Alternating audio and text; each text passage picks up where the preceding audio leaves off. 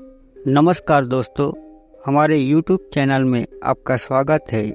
आज हम बात करने जा रहे हैं 2016 की एक चाइनीज़ हॉरर फ़िल्म के बारे में, जिसका नाम है लॉस्ट माइंड फ़िल्म की शुरुआत होती है एंकिंग और वी वैन नाम के एक सुखी शादीशुदा कपल से। वे सालों से कोशिश कर रहे हैं कि उनका संतान हो, लेकिन कोई फ़ायदा नहीं। इस असफलता का बोझ और मदर इन लो का लगातार दबाव, एंकिंग की मानसिक स्थिति को कमज़ोर करता जाता है। एक दिन वे एक अनाथालय से एक छोटी लड़की जिन दिन को गोद लेके अपने घर लाते हैं, जिन दिन के आने के बाद एंकिंग को लगता है कि जैसे उसका अतीत उसे परेशान करने लगा है। उसे परेशान करने वाले दृश्य, भयानक आवाज़ें और अजीबो गरीब घटनाएँ होने लगती है।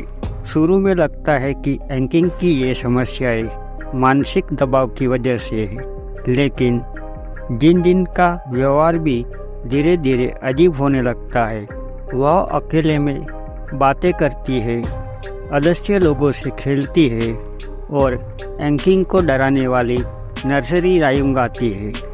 अब एंकिंग को यकीन होने लगता है कि जिन जिन किसी अंधेरे बल से जुड़ी हुई है जिन जिन के पिछले परिवार के बारे में छानबीन करने पर पता चलता है कि कुछ साल पहले एक हादसा हुआ था, जिसमें उनके माता पिता की मौत हो गई थी। एंकिंग को डर सताता है कि कहीं उस हादसे की आत्माएँ ही तो जिन जिन के ज़रिए उन्हें परेशान नहीं कर रही है। फ़िल्म का तनाव एक चरम पर पहुँच जाता है, जब एंकिंग अपने अतीत के भयावह सच से फेस होती है। यह पता चलता है कि जिन जिन खुद एंकिंग के खोए हुए बचपन का एक टुकड़ा है, जिसे एक दुखद घटना ने दफन कर दिया था। लॉस्ट माइंड्स केवल एक डरावनी फ़िल्म नहीं है, बल्कि यह मनोवैज्ञानिक और पारिवारिक ड्रामा भी है। फ़िल्म उन दमित यादों और अलसुलझे रहस्यों के खतरों को दर्शाती है, जो हमारे अतीत में छिपे होते हैं। यह फ़िल्म हमें सिखाती है कि अतीत का सामना करना कितना ज़रूरी है, चाहे कितना दर्दनाक हो।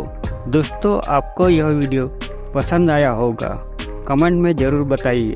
और हाँ इस तरह की दिलचस्प फ़िल्मों के बारे में जानने के लिए मेरे चैनल को सब्सक्राइब करना ना भूलें।